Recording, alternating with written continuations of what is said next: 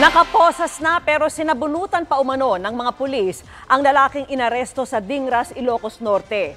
Itinanggi ng pulisya ang paratang at iginiit na hindi nakuna ng video ang buong insidente.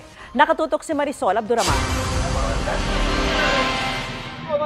Nakaupo sa gilid ng kalsada ang nakaposas na lalaking ito at tila nakikiusap sa mga lalaking nakapalibot sa kanya. Maya-maya pa,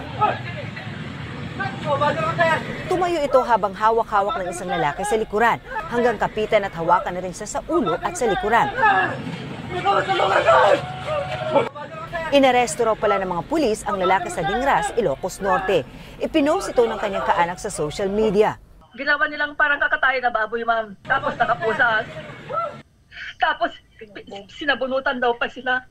Kinumpirma ng mismong Provincial Director ng Ilocos Norte na inaresto nga ng mga pulis ang lalaki na kinilalang si Elpidio de los Reyes noong June 25. Giit ng Ilocos Norte PNP, lihitimo ang kanilang operasyon laban kay de los Reyes.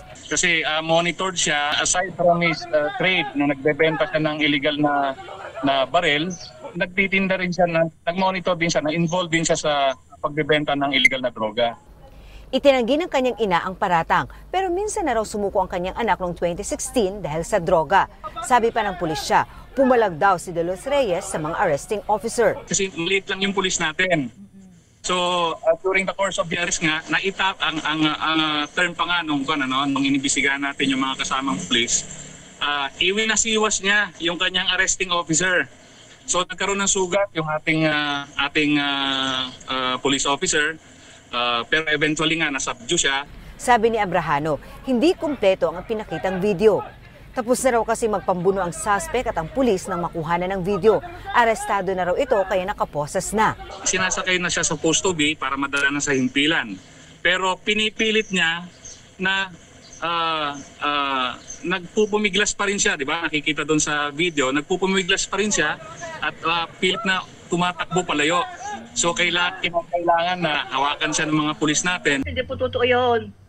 Hindi po siya lumaban. Paano lalaban? Eh, nakapusas na po siya. Kaya hiling ng ina ni De Los Reyes. Ah, Para sana mga pulis na nagbawa sa kanya na bumugbog, sinabunutan, tinatadya. Sa ngayon, wala raw nakikita ang Ilocos PNP na pang-aabuso ng mga pulis sa ginawang pag-aresto sa suspect. Gayunman, pinaiimbestigahan na rin daw ang nangyari. At kung sakaling mapapatunayan na nagkasala nga ang mga arresting officer, hindi raw ito kukonsintihin ng kanilang pamunuan. Marisol Abduraman, Nakatutok, 24 Oras.